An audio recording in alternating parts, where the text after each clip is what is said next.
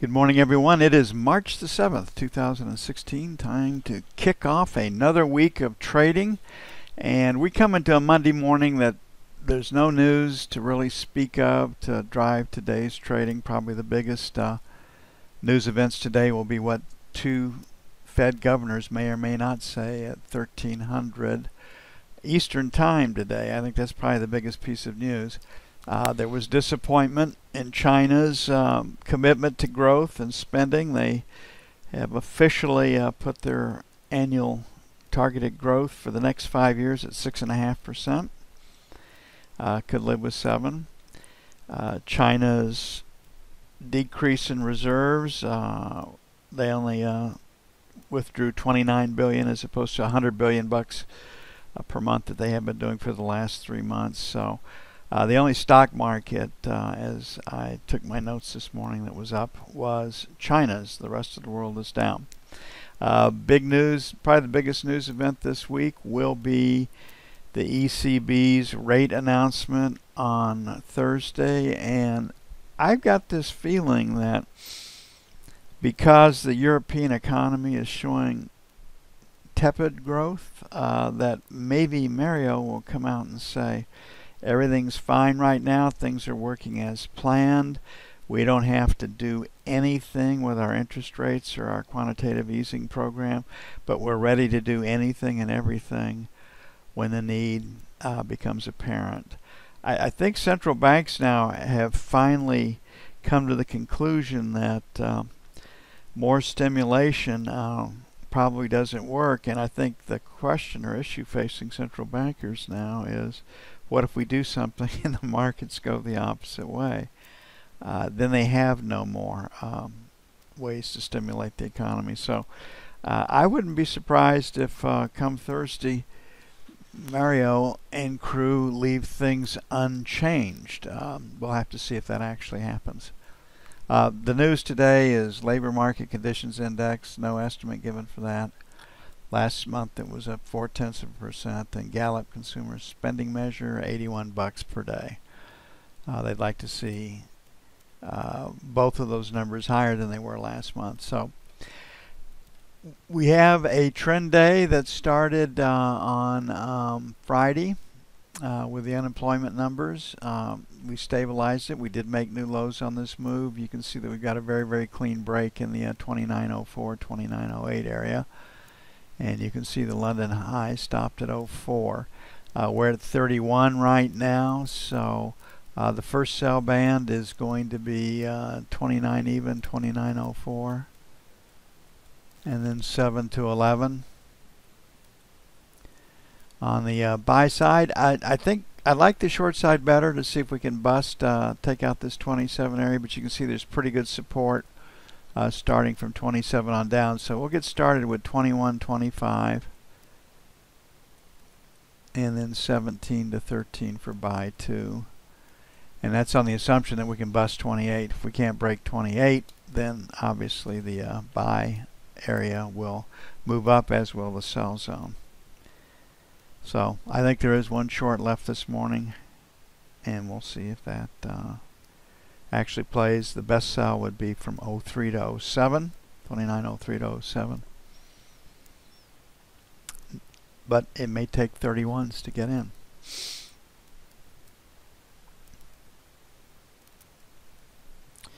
Most supportive thing for treasuries today will be um, the direction of the stock market if the E-mini sells.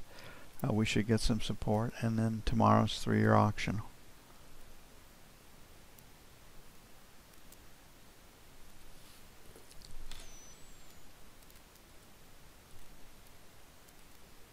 Looking at the 30 year, um, you can see that London stopped at 10, the overnight session stopped at 15.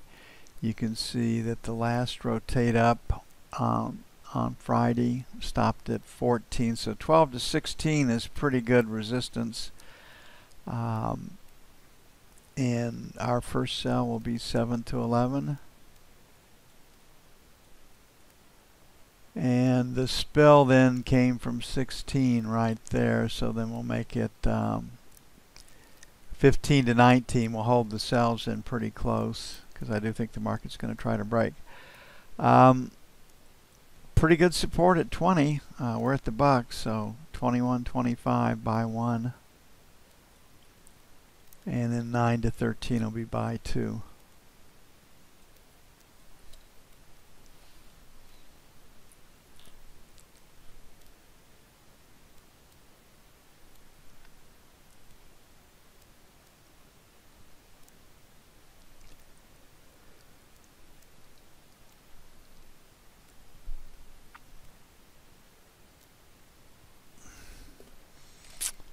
Okay, moving on to gold. Uh, the moisture pump from the Gulf of Mexico started yesterday afternoon. That's when we started to get humidities going. Uh, the temperature delta between the overnight uh, lows and highs really, really narrowed, which is what humidity will do for you. And uh, big storms are uh, forecast south and east of us to break out for the first uh, uh, big pump, the uh, Gulf Moisture Pump. But we haven't seen all that rain from California that was promised last week. But we'll take it, um, be from the Gulf of Mexico or from the Pacific Ocean. We're we're ready. We need it. Okay, uh, gold. Uh, we we like gold. We like the long side of the market. You can see that uh, this 55, 57, pretty clean break in the market. 57.60 uh, obviously 75. So 75, 77 is where the selling was on Friday. Sell 1.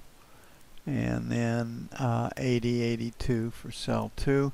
I really think we're headed above 1300. Don't really like the short side of the market, although it does give us good trades. I think you were just, I think everybody's trying to find a place to buy it. Uh, London's last rotate down low was six to the low side was 63.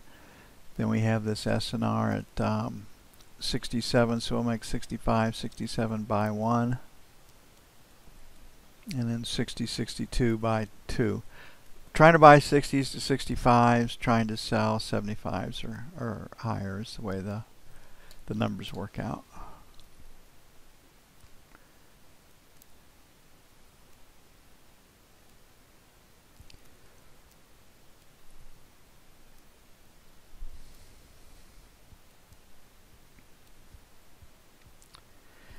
Okay, the euro uh, probably is going to be run down into the European Central Bank announcement coming Thursday.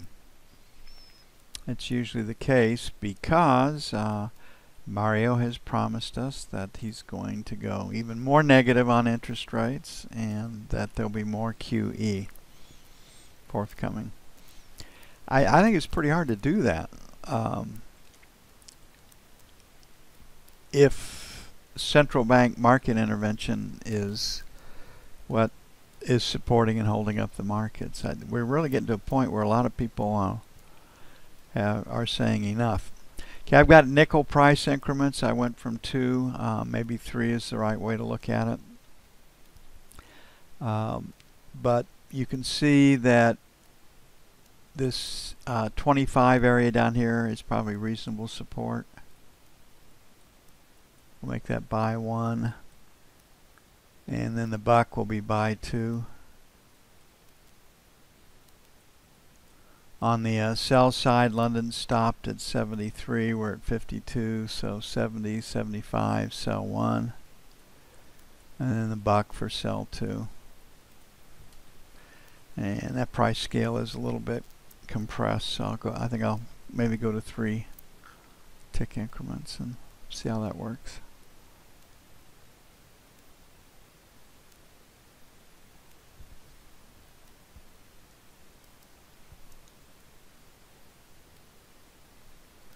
Think the market is going to head lower.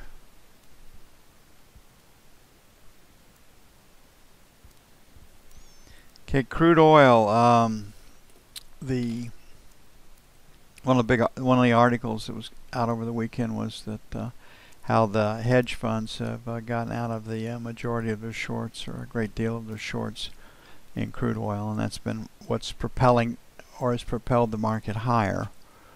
Um, so 10 bucks um, usually contains uh, will absorb all the um, uh, you know repositioning done by the major players, and we'll see if that happens. That would put us in the uh, 20, 37, 38 area uh, is where the market would uh, stop, and we have 40 bucks after that. This high volume number at 36.75 has stopped the market, so we'll make our first sell 75 to 37, sell one. Then 50 to 75, pick up this other high volume area up here for sell two. Uh, the breakout came late Friday at um, 36 and a quarter, so 36, 36. Actually, uh, I'm going to put 35, 75, 36 for buy one. And then 35 even, 35 and a quarter for buy two. May have to raise those 25 cents on the buy side, but supply remains a problem with crude oil. And uh, even though rhetorically different OPEC members are talking about uh, why the market and will go higher because of this cooperation that is developing between OPEC members and freezing production at the highest it's highest official quotas it's ever been. Will work to stabilize the oil market. So talk is cheap, and uh, we'll see what happens. So right now, short squeeze. Okay, the E-mini we um, we did hit our 2,000 target plus some. Uh, got all the way up to that high volume area at, uh, at 07.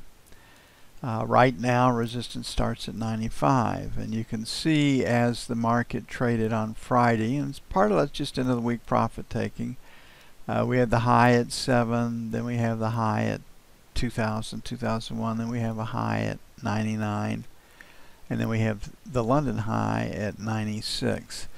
And we definitely are dealing with a B, so we're at 88 right now. So uh, while I would like to sell 95s to 2000, we're going to put a question mark in this 90 to 92 area right here. Picking up that volume. And then the uh, 4 to 9 would be uh, sell 2 that's structurally where we are. Uh, if we can't break and build volume below uh, this uh, 82 83 level and the market's still poised to trade higher no news to drive today's trading so take it down rally it back. Then if we fail to take out the uh, uh, London high, that 95, 96 area, I think that's how the best short will develop, or the one that would be the easiest to take. Uh, initial support is going to be 80 to 85. That picks up this volume over here. Uh, resting limit buy at 82.50 uh, would be a structural buy. And then 70 to 75 will be buy two. Uh, no news to drive the trading. Uh, the issue to me now is where is support, and uh, this 82 area uh, or 75 represents the best support in my opinion.